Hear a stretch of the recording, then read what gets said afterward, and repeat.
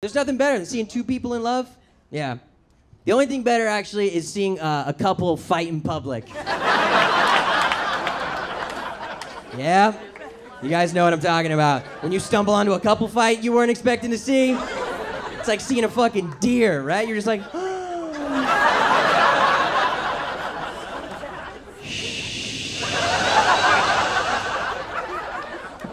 don't want to scare it away. You know?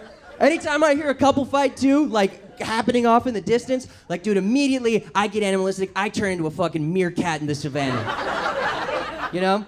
Like I'm just sitting there. I was at fucking lunch with my buddy the other day, and I just hear way off in the distance, just like, Jason, what the fuck is wrong with you? And I'm like,